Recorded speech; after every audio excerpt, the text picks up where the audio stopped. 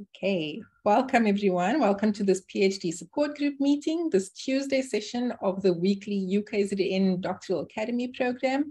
I'm Leni Liebenberg. Thank you very much for joining us today. Uh, so uh, as, as usual, just to start off with an intro to new participants. Uh, this is a very casual, very supportive space, and we really, really encourage interaction amongst participants and with the, the presenters. So please feel free to uh, use your reaction icons, pop any questions in the chat box, uh, raise your hand if you'd like to say something. If you would prefer to remain anonymous, that's fine as well. You could send me a direct me message and I'm happy to read out your question or your comments to the, the group so that uh, the SSS team today and participants are able to address uh, that comment. Um, right, so without any further ado, today is a very special on suicide awareness and prevention, and this will be hosted by the UKZN Student Support Services team, particularly uh, Suzanne Stokes, who's a student counselor and educational psychologist in the team. Um, so very, very welcome, Sue. Thank you very much for taking this time to speak with us today to discuss such an important topic. Um, and I'll hand over to you. Absolutely, uh, a pleasure to be here, and thank you. Um, so I do have my colleague uh, Wilganisi Saber, who is also joining us, who will help me man the chat space. So as we start this talk, I'm reminded that it is Mental Health Month, and we are surrounded by comments such as your mental health matters. There is no health without mental health. And I continue to ponder on the fact that we have, as a result of suicide, lost too many loved ones, um, stemming mostly from poor mental health. September the 10th is the day we spoke on suicide prevention as a global community. Did you know that at least 75% of all suicides were preventable? Imagine if we spend at most an hour a week focusing our energies and activities and dialogues addressing uh, and engaged in preventative care, self care, allowing ourselves to be in the care of others, or hosting psychoeducation on factors impacting wellness, or developing coping strategies, or encouraging help seeking behaviors, such as better decision making, how different that 75% would be. So, I will be addressing all of those aspects in today's session. So this would shift this this particular pandemic into a whole new dimension. Persons who live with the thought or the constant thought of suicide would feel more encouraged to reach out and speak to someone they trust because we are creating the space for change, non judgmental spaces that foster acceptance and gives hope. So, one is too many. So the World Health Organization reported that there is an estimate of 703,000 people a year take their lives around the world. For every suicide, there are likely 20 other people making a suicide attempt, and many more have ser- serious thoughts of suicide. So, millions of people suffer intense grief or are otherwise profoundly impacted by the suicidal behaviors. Our uh, aim with suicidal prevention and awareness factors as per World Health Organization's plea, is to address suicide as a public health concern. And each suicidal death is this public health concern um, with a profound impact on those around them. So, by raising awareness, reducing stigmas around suicide, and encouraging well informed action, we can reduce instances of suicide around the world. So, with the 10th of September, each year focusing or focuses the attention on the issue, reduces stigma, raises awareness, and gives a singular message that suicide can be prevented. So, creating hope through action is the triennial theme for the World Suicide Prevention Day from 2021 up to ne- the next year, 2023. And this theme is a reminder that there is no, there is an alternative to suicide and aims to inspire confidence and light in all of us. So, with that introduction to the topic, I am um, encouraged to speak about this creating hope through action. And we can signal to people experiencing suicidal thoughts that there is hope and that we care and want to support them. It also suggests that our actions, no matter how big or small, may provide hope to those who are struggling. So, building on this theme and spreading this message, a world can be envisioned where suicides are not so prevalent. We all can play a role in supporting those experiencing a suicidal crisis or those bereaved by suicide, whether as a member of society, a child, as a parent, as a friend, as a colleague, or as a person with a lived experience. And we can all encourage understanding about the issue, reach into people who are struggling, and share our experiences. We can all create hope through action and be the light. So, continuing on the concept of creating hope, we see within the media, newspapers, and the digital prints portray suicide in a way that we forget about the life lived. Journalism has been known to sensationalize many stories just to, you know, get those sales or the hits on their sites. And this further contributes to those stigmas and misperceptions about suicide and suicidal attempts. It makes having that serious conversation slightly more difficult. So in 2021, suicide is regarded as the 15th highest cause of death worldwide. SADAG, with their journalism project, has successfully shifted the way most journalists share the losses, our losses in the media. There is a shift in humanizing the loss we feel while maintaining the respect of the lost one and their family and friends. This is something that we too need to continue doing in our own spaces. So I'm going to do just a little bit of the terminology that we find when we're working through uh, on issues of suicide. And Durkheim identifies four different types of suicide, which are egoistic suicide, and that's seen as stemming from the absence of social interaction and integration. And it's committed by individuals who are social outcasts, see themselves as being alone or as an outsider. Altruistic suicide occurs when social group involvement is too high. Individuals are too integrated into the group and are willing to sacrifice their own life um, for the uh, greater good and the obligation for the group. Anomic suicide is caused by the lack of social regulation and occurs during high levels of stress and frustration.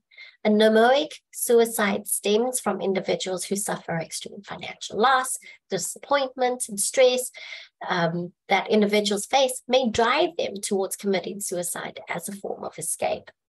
Fatalistic suicide occurs when individuals are kept under tight regulation, and these individuals are placed under those extreme rules or high expectations set upon them, and which removes their sense of identity and um, self and this can be seen in slavery or in persecution. And another two terms that we refer to when addressing suicide is the suicidal ideation. It's any self reported thoughts of engaging in suicide, suicidal related behavior, and includes presence or the absence of suicidal intent and plan. Parasuicide refers to the act of self harm without the realistic expectation of death. So with the terminology out of the way, I am going to be sharing with you just a short video on these misconceptions of suicide. And I just want to quickly get my sound share already. There we go. So just let me know if the sound is good.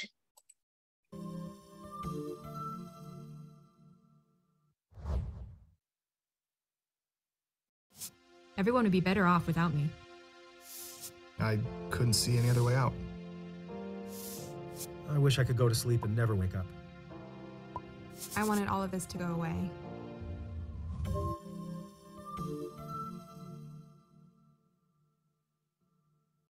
These are the voices of suicidal ideation, which is the thinking that haunts people and brings them to the brink of taking their own lives. Most of us have been touched by suicide in some way. Some of us have personally lost a loved one to suicide, or we know someone who has. Some of us have had suicidal thoughts ourselves or even attempted suicide. Far too many people take their own lives every year in America, with especially concerning rates in veterans and adolescents. We know there are certain situations that add to the risk of people attempting suicide. If they've made an attempt in the past, if a member of their family has attempted or died from suicide, if they own or have easy access to weapons, a lot of unused medication or drugs, or anything else that could be used to attempt suicide. If any of these are true, their risk can increase further if they struggle with mental health problems, Depressed mood and hopelessness are serious risk factors. Other problems, like a recent breakup, job loss, or legal trouble, can be important to consider. Or if they use drugs or drink alcohol. Both are highly related to death by suicide. And if someone uses much more during difficult times, it's important to notice this. We are completely certain of two things suicidal ideation is an emergency, and we can all play an important part of saving someone who might be living it. Here are a few critical things to understand. Most of the time, people don't want to die. Even when things feel very bad, most people truly want to live. People say they just don't want to feel the pain anymore. That's why it's so important for you to know what to look for. So, how can you tell if someone in your life needs help and what should you do? First, really listen. This is often the most important thing to do when someone we know is struggling. If a person is thinking of suicide, he or she says so. Sometimes the person literally comes out and says something like, I wish I were dead. Other people may mention suicidal thoughts more passively, saying something like, If I were gone, no one would notice, or I have nothing to live for, or I just wish all of this would stop. Then, watch. Heavy or increased drug or alcohol use can be a warning sign if someone has been thinking of suicide. Also, pay attention if someone is socially isolated, or if someone tells you he or she is feeling overwhelmed by stressful situations that don't seem to have solutions. We need to notice when our friends and family are having more trouble than they usually do. Finally, ask. If anything does not feel or sound right to you, or if you're worried at all, ask about it. Make it straightforward and don't be afraid. Use these words Are you thinking of killing yourself? You will not give someone the idea if that person wasn't already considering it. In fact, most of the time, people feel relieved that they can talk about what they're struggling with, and you very well might save their lives. If you think someone is in danger of suicide, stay with them and get help. If your friend or loved one admits to thinking about suicide, make sure the situation is safe and stay with the person. Validate his or her feelings and listen without judgment, even if it's scary. Encourage the person to get professional help right away, and help if necessary, even if this means calling 911 or going to the hospital. Every one of us has a role to play in preventing suicide. If you are feeling like suicide might be an option for you, please be brave and ask for help. If you're worried about someone you care about, be the one who asks the all important question. You could very well save that person's life.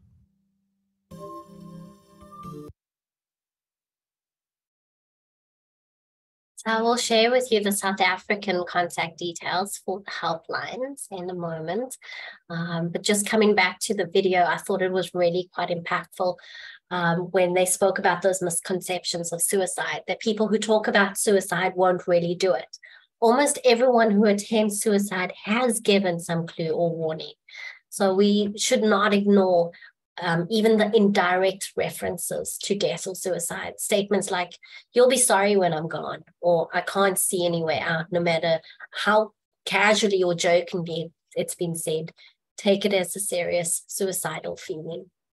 Another misperception can be people who die by suicide are people who are unwilling to seek help. Many a times, people who um, attempted suicide have reached out for help before. Studies indicate that more than 50% of suicide victims have sought medical help in the six months prior to their deaths. Talking about suicide may give someone the idea, and that's a huge misperception. By speaking about um, suicide, we tend to normalize their experience. You don't give someone the suicidal ideas by talking about suicide. The opposite is true. Talking openly and honestly about suicidal thoughts and feelings can actually save a life. If someone is determined to kill themselves, the misperception is that nothing is going to stop them. We know that this is untrue. Rather than wanting death, they just want the pain to stop. And the impulse to end their life does not last forever. So that was a quick recap of those misperceptions. And I was always interested in, you know, having conversations about brain chemistry. So if you if you have a little more insight, you're most welcome to share with us. But I've thought about whether we are able to predict who is at risk of suicide just by drawing a couple of drops of blood and see on a micro level um, in such a way that we can actually prevent suicide before it happens. And can we deduce this from the brain chemistry? So, research has shown that there is some significant difference in the brain chemistry of someone who has committed suicide. They found that certain brain regions in people who are suicidal have fewer nerve cells and altered receptors for neurotransmitters. So abnormalities related to the neurotransmitter serotonin have been linked to suicide in many studies. So low levels of serotonin have been found in the brains of those who commit suicide. So physiologically, a serotonin deficiency in combination with risk factors, which we will look at in a moment, those external contributing factors such as mental health, loss, or a crisis event may make one more at risk of contemplating or attempting suicide. At most times, an imbalance in the brain will lead to poor mental health, applying ineffective coping strategies, and prevents one from reaching out for help. So, what are these prevalence and risk factors? We know suicide doesn't discriminate. So, while the link between suicide and mental disorders, and in particular depression and alcohol use disorders, is well established in certain countries. Many suicides happen impulsively in moments of crisis where there is a breakdown in the ability to deal with the life stresses. And these life stresses can be financial problems, relationship breakups, chronic pain, illness. Suicide rates are also high among certain vulnerable groups who experience discrimination, such as refugees, the LGBTIQA persons, and prisoners. By far, the strongest risk factor for suicide is a previous suicide attempt. In terms of age cohorts, adolescent suicide, reported in 2020 and 21, is the second and now fourth leading cause of death among young adolescents and adults. And this is between the ages of 15 and 29 respectively. So approximately 75% suicide cases occur in the middle and low income countries, and the World Health Organization reported globally that males are twice as likely to, di- to die by completed suicide compared to females. Recently, in the Sunday Times on the 15th of August, uh, they reported men are four times more likely, with a side note that this is hitting the nail on the head. They interviewed Cassey Chambers, and she mentioned that the interesting thing is that more women may be diagnosed than um, diagnosed depression than men, and not necessarily that women have more depression than men. Women just don't talk about it and don't seek help. Men are more aggressive in their methods to commit suicide and have more access or means to suicide. So I hope that makes sense. Those living with schizophrenia so if we're looking at um, comorbidities during a relapse following poor adherence to medication and or a treatment plan such as psychotherapy are 20% more likely to have a suicidal attempt. And this is due to those psychotic episodes and the severity of the symptoms they may experience. In an article in the Psychiatry magazine, there were two um, reports. Um, the one titled Workplace Anxiety and COVID, reported that 70% living with an anxiety disorder will try to commit suicide regularly throughout their lifetime. And this is as a result of poorer help seeking behavior skills, poor adherence or inconsistent to attending therapy or their pharmacological interventions, adhering to the medication, and increased self neglect, self sabotage behaviors, high self harm risk, and inability or ineffective ways in addressing life stresses. Another, uh, yeah, another article in that um, uh, magazine referred to the post traumatic stress disorder and its association. Um, and made a direct link between substance abuse and suicide. This, indu- this due in part to the reminders of the traumatic event precipitating the increase in distress and or physiological reaction. So it's a means of escaping, reliving the trauma. Self harm is associated with several poor outcomes, including attempted and successful suicide. So, self harm is not an attempt to commit suicide. Self harm is an ineffective coping strategy used to make sense of a difficult situation and can serve as an effective regulation, so managing their emotional regulation or punishment. Self harm increases the rate of suicide to between 50 and 100 times the rate of suicide. So, self harm increases the risk of suicide. So, the reasons for attempting suicide varies. It's never one reason or one contributing factor. Usually it's a combination of issues, and such experience is different for each person. So, life traumas such as experiencing conflict, disaster, violence, abuse, loss, perhaps even a sense of isolation, is strongly associated with suicidal behavior. let's be a little more specific a pandemic. We've seen we've lost uh, people we love. There is an increase in loneliness and isolation. There's been an ex- uh, increase in exposure to distress for long periods of time. Bullying, cyberbullying, and we see that suicide associated with bullying or cyberbullying are common, and there is a term called bullycide.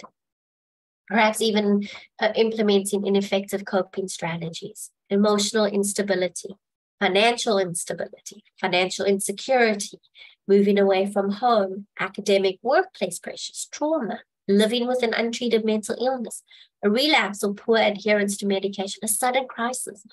All these factors make an individual feel overwhelmed, helpless, and hopeless.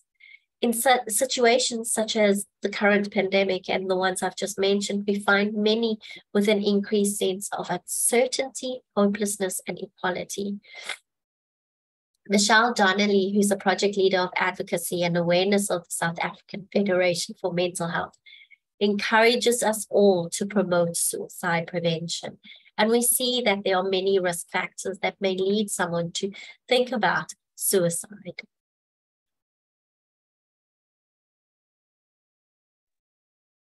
Suicides are preventable.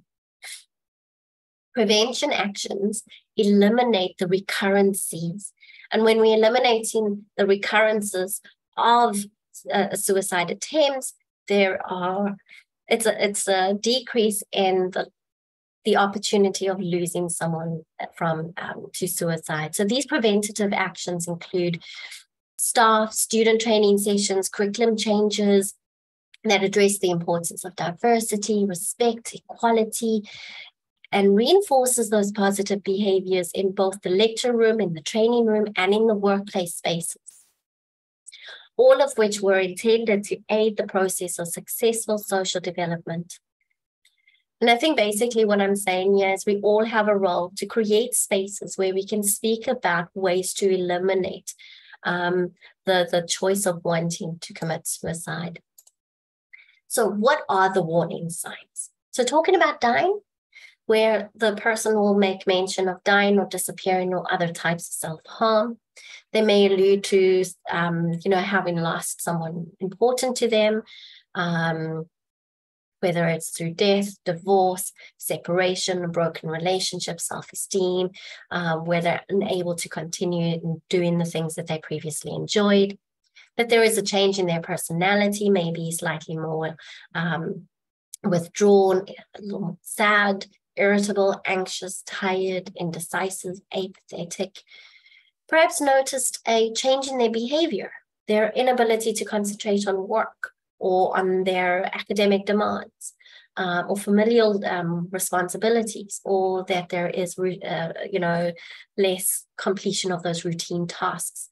And we'll notice this in unusual, unexpected calls saying goodbye, as if we're not going to be seeing them again a change in sleep pattern, sleeping too much or sleeping too little, or perhaps even just a mention of, you know, nightmares, even in eating habits, eating too much, eating too little, weight gain or weight loss.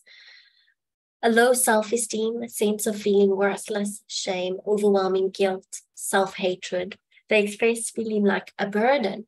Everyone will be better off without me, are the words they would use to describe their experience. They may have no hope for the future, believing things will never get better or that nothing will ever change. So these are simple warning signs that are out there um, that alludes to someone actually indicating I need help.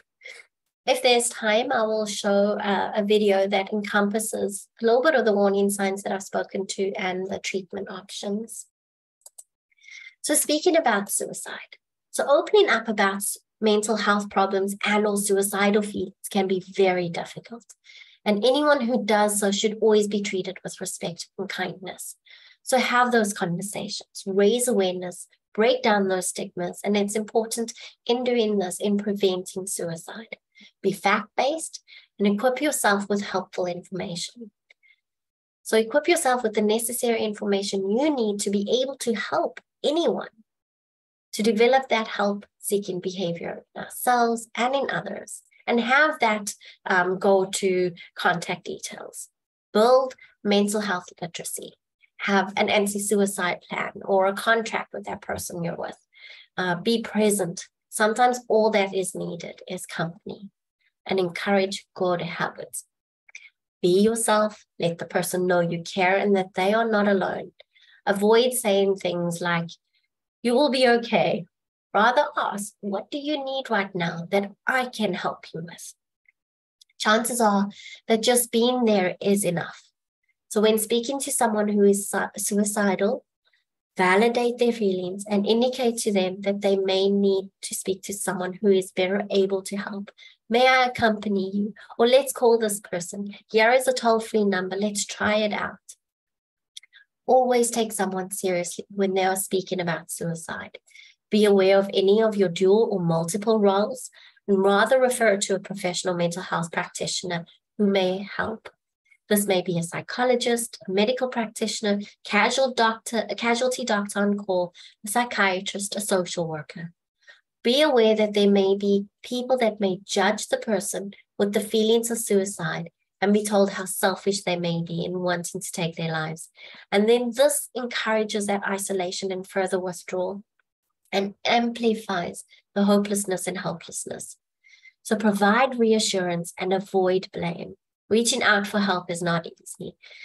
And this is mostly due to that fear of being judged and living a life filled with this constant thought of, I do not want to live with these feelings. It's easier to be away. I don't want to wake up and think about this. So seek the help of a mental health practitioner. It may be difficult to get the help a suicidal person needs. So call a crisis line for advice and referrals. Encourage the person you you're with to seek help from a mental health care professional. They will do a proper medical assessment and address any underlying mental health conditions they may need treatment for. They will make additional recommendations such as support group or psychotherapy as examples. You can help them remain on treatment. It may take a little bit of time for someone to develop a routine that now includes medication um, or attendance to psychotherapy. Encouraging someone is important. So do those check-ins and see if they've taken their meds or attended their session. Be proactive, drop by, call, and don't wait for them to ask for help, as we know it may be difficult at times to reach out. It may take time from your daily schedule, but the check in allows the person to feel valued and important. Encourage healthy lifestyle changes. Sleep, healthy diet, have a social calendar, all helps with living life again. Leisure pursuits and exercise is the best medicine for relieving stress and promotes emotional stability and physical well being. Make a safety plan, and I will share a, a, booklet via email, a great resource on how to set up a safety plan uh, for a family member, a friend, a colleague. And it will include a commitment to reach out first, who to call when feeling low or thinking about suicide, a commitment to themselves to try something first. And the suicide booklet uh, was created by SADAG. Remove those potential means of suicide, continue your support over time, um, especially after an event or thoughts of suicide. Stay in touch with that person. Your support helps them on their recovery plan, and they will feel supported and cared for. And this can translate into as simple as a five minute phone call. Supporting a loved one who is chronically suicidal can be quite stressful and exhausting. So you may be afraid and feel guilty and helpless at times. So take advantage of resources about suicide and suicide prevention so that you have information and tools to take action when needed and that you can actually also look after yourself. So take care of yourself by getting support from friends, family, organizations, and professionals, especially if you're supporting someone who is suicidal.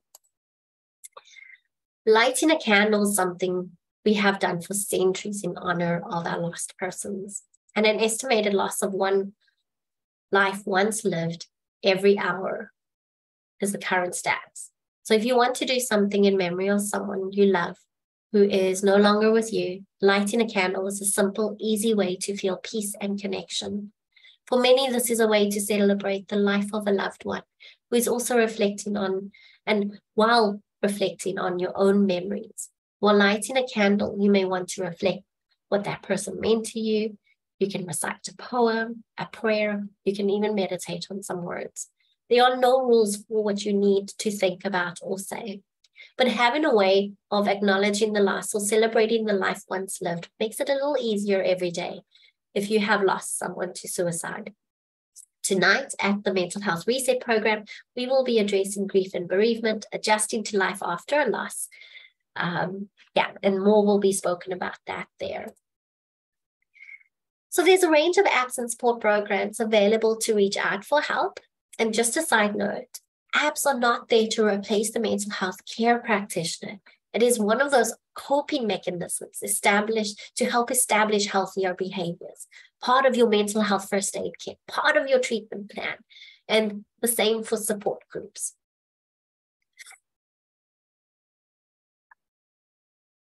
I'm just going to quickly um, pop in a, a link. We just quickly get to the link that is going to give you access to the top 2022 mental health apps. And I've also post a link for a SADAG website that speaks to equip, you know, that speaks to all the things that you may need to know um, that will help you equip yourself with the necessary knowledge that you may need. Perfect. So SADAG has just shared over 80 new support groups across the country. So there is a support group for those that have um, mental health condition or have lost a loved one from suicide or is actively uh, you know living with suicidal ideation so look out on their website for the support group. So in total, they have over 160 um, support groups presently. Um, and one person have said that what they've learned from a support group is to listen to myself, respect my feelings, and reach out for help when I need it without embarrassment or fear. In the next few slides, I'm going to be sharing some contact details that um, you may need. Whether you, a family member, or a friend or a colleague may need assistance and may need to contact um, someone. And we have the suicide crisis helpline, which is the SADAG line 0800 567 567. And their other toll free line is 0800 456 789. And that's also both are available 24 hours.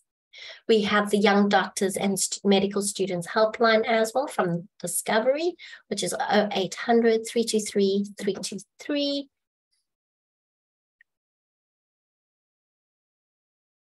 And we also have the suicidal crisis line SMS number, which is 31393. And a telephone counselor will contact you and respond to your message. We also have now newly released the SADAG WhatsApp counseling line. It's 087 And there is this campaign called Brave Together. Maybelline and SADAG partnered to launch this new WhatsApp counseling line. And this initiative aims to create more safer spaces for people dealing with depression and anxiety. Um, and they can then reach out for help and encourage more people to seek out for help and support. And they've recognized that in a world where they are one in five are estimated to be affected by anxiety and, and depression, women are disproportionately impacted. We know that our mental health conditions within the country are ongoing and untreated. And they've reported that nine out of 10 people with a mental health issue will not have access to a mental health care, um, yeah, access to mental health care or treatment. So many people don't know how to access help for their mental health issues or are too afraid to talk about it and don't seek help for their uh, problems. So, this kind of helpline encourages a safer space, a space where people can reach out for free help, whether they are at work, school, home, on a bus, They can access free help through the WhatsApp line. Making mental health services accessible is key in our prevention. And once and accessing a service that equips one with coping skills, finding ways in addressing factors affecting our lives, finding acceptance is empowering and is hope giving. I've also got Lifeline's contact number. Their national counseling line is 0861 322 322. And I've also put the GBV, Stop Gender Based Violence, uh, toll free line 0800 150 150. So I spoke about Michelle earlier, and this is the you know a little snippet of their website. They do a lot of psychoeducation, and they on their website they address aspects of bullying, drug and alcohol use, exam stress, self harm, social media risks, suicide, mental disorders, and intellectual disorders, disabilities. So with that, I'm saying thank you and thank you, Matters. I appreciate you. And I'm just going to quickly play the second video that I have planned. Um, and and um, enclosure. And I like this video because it puts into perspective from a um, healthcare practitioner perspective as lab technicians, as doctors working within the workplace when one of our patients or clients say, I need assistance. This video will also speak to treatment plans.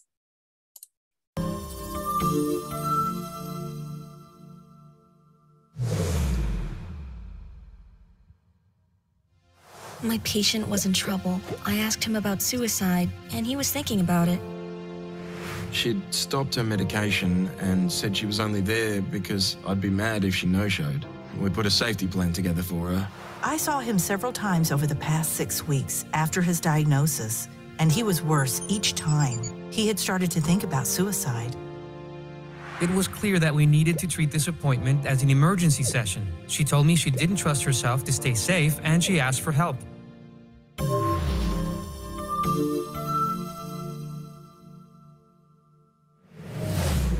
With someone considering suicide can be challenging for the most seasoned clinician. Because many people see their primary care provider in the weeks before dying by suicide, you are in a unique position to recognize a crisis and save a life.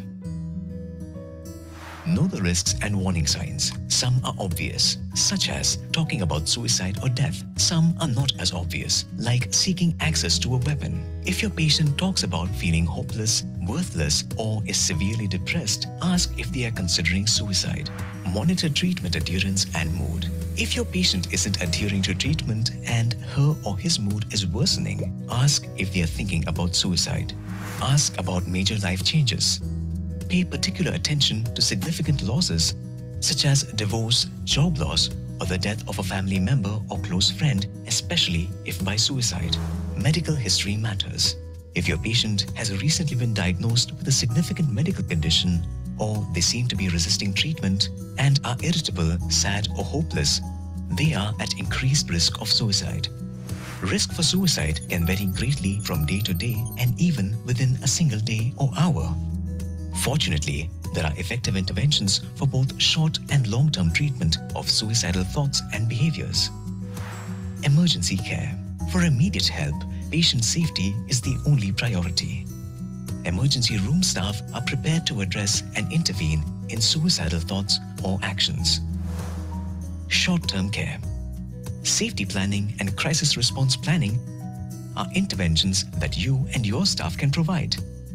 With minimal training, medical staff can determine when the risk of suicide exists and address behaviors to keep patients safe, including outlining coping strategies, identifying personal contacts and resources, and creating a concrete list of people available to help the patient. Long-term care. There are at least three cognitive behavior therapy suicide-specific protocols that are effective in reducing suicide attempts cognitive behavioral therapy for suicidal patients or CBT-SP, brief cognitive behavioral therapy for suicidal individuals or BCBT, and dialectical behavior therapy or DBT are all evidence based treatments focused on reducing suicidal behavior. You will encounter patients who are suicidal at some point during your professional career. Knowing what to look for and how to speak about treatment could save your patient's life. Suicidal thoughts are common. Suicidal behaviors can be lethal. But with your attention, skills, and effective treatments for suicidal thoughts and behaviors, they don't have to be.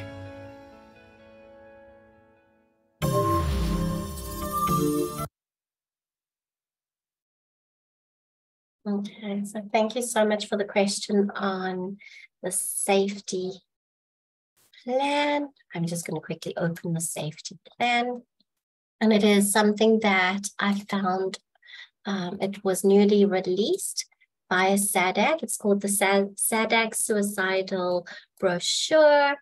And I'm just going to do a quick screen share. And while I do the screen share of the brochure, I'm just going to quickly find the direct link.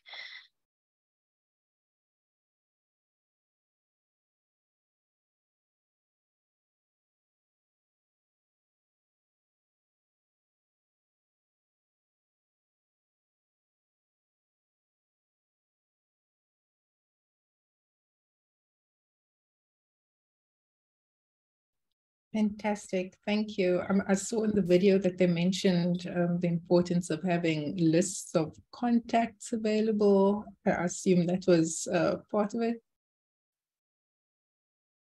You assume that was? I'm so part sorry, of, broke up.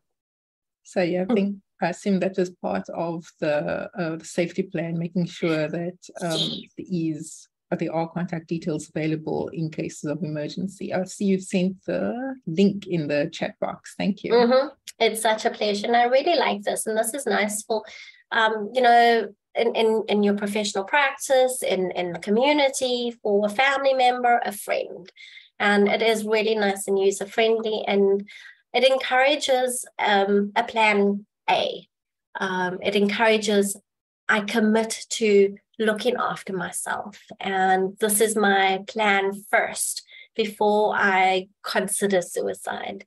Um, I think it's always important to put as one of the contact numbers as an after hours toll free line, such as SADAG or the CIPLA mental health suicide crisis line. Um, and this, yeah, um, you can see that we've got the SADAG suicide line over here, the 567, 567. Um, let's see if there's anything else that I would like to mention about the booklet. And I think it gives you enough information, yeah, to refer to when when you're needing to speak about suicide and um, the impact that it may have. Um, if you're wanting to speak about this with colleagues in an open forum or with a family member. Yeah. I saw on that plan that um, I, I, like the idea of committing to to a few steps to put in mm-hmm. place. Um, you know, like it's so easy for us to become overwhelmed. Um, yeah, here's what I'm going to do when that does happen. I'm going to breathe deeply. I'm going to speak to this person. I'm going to grab my phone and contact this person uh, you know, just to have that plan in place, tangible, Absolutely. I think is so important. Otherwise, you know, the weight of the world would probably just weigh on your shoulders and, you know, it's difficult to manage. Uh, I'm loving the safety plan. Mm. Um, you're, you're speaking about something so critical. It's it's part of your mental health first aid kit. It's like um, this is your resource bank. This is what you have within yourself to be able to look after yourself. And also, as part of when I'm not able to look after myself, who can I ask and um, help me on this journey? Mm-hmm. Also, found that it was so profound during this session this concept that we all have a role to play in, in prevention and you know the importance of awareness not only for yourself but what's happening around you um, noting somebody else's circumstances um, i had a question uh, related to that if you don't mind um, you know it's unfortunate we probably all know someone um, who may have committed suicide and you know there, there, there are people being left behind. And absolutely. How do we help them, you know, the friends and family um, who seem to have the sense of guilt and sadness, the we should have seen the signs, or I, I saw the signs and I didn't do anything, or I didn't know I was not enough. I could have helped. How do we support them? I mean, in some sense, you know, that's us as well. um, Absolutely. Mm-hmm. I, I, think that's such an important question because we are the ones still, you know, present, having to manage the loss. And we we would deal with the loss in the same way we would grieve a loss of um, a family member, you know, who who's um, passed away in a different kind of way. We will go through a, a, a grieving process. There will be a lot of blame, self blame, a lot of negative thinking, a lot of. Um, I'm trying to think there. There's a um, um, a, a concept, and it's such a pity I can't recall the the name, the term for it. But when we experience a loss following suicide, we're slightly more at risk of suicide ourselves because of that intense um, regret of I should have taken care of this person or, or taken taken them seriously. Um, and it, it is definitely something that uh, we we need to look after ourselves through reaching out recognizing your own process of recovery is so important knowing your signs or symptoms of i'm not okay um, have your own checklist to say um, i might be at risk of um, you know experiencing uh, grief and bereavement um, and and needing help. Um, i think you know when you're finding it difficult to sleep your appetite changes your mood is you know up and down you're irritable you're snappy. Um, and, and those are normal responses to experience following a loss of, of a loved one. Um, yeah it's it's knowing and identifying within you your own resources of support making sure that you have your own support team that is there for when you need help, when you're feeling stuck and, you know, feeling intensely sad or just needing company. Um, I know there was another slide. Um, yeah, by the support groups, there is a support group that is for those who are living with uh, lost ones to suicide. And I think it's really important to be in a support group um, or a support network that encourages this kind of conversation and healing. Um, I am aware that uh, there will be certain times during a year where there would be a greater sense of feeling that loss, like anniversaries, birthday celebrations, um, maybe an annual event that you you would be attending with that person who's no longer with us, and it kind of sparks that that process again of grief and bereavement. Um, so it's knowing and preparing for that um, that event, and that's part of your pro- of your healing process too. Mm. Mm, yeah, especially like that comment about the, the lighting a candle um, in, in, celebration of the life of uh, someone who has passed from suicide. Mm.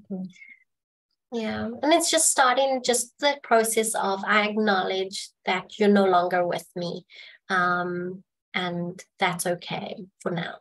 Mm. It's a good start.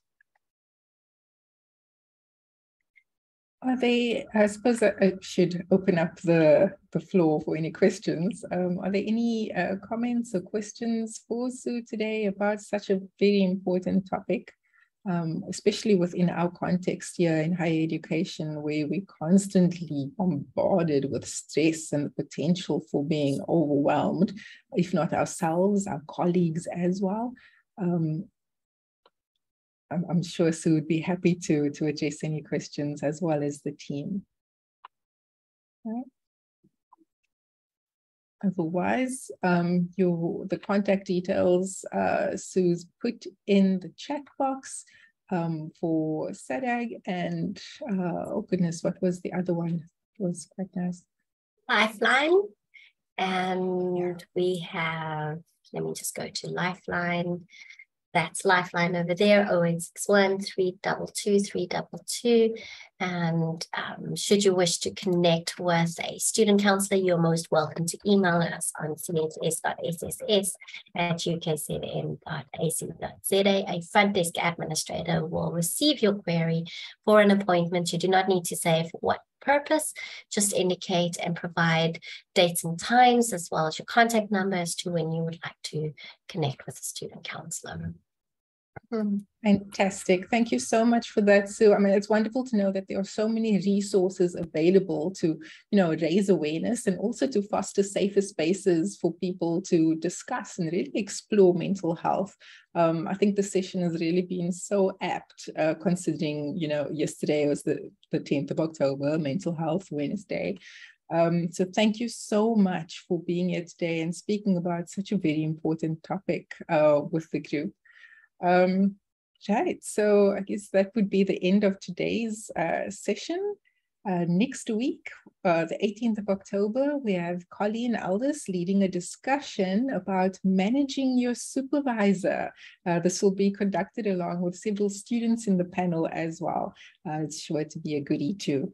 Um, thank you very much. Thanks, Sue, for, for hosting today and all the participants for joining. And we'll see you next week. Thank you. Take care.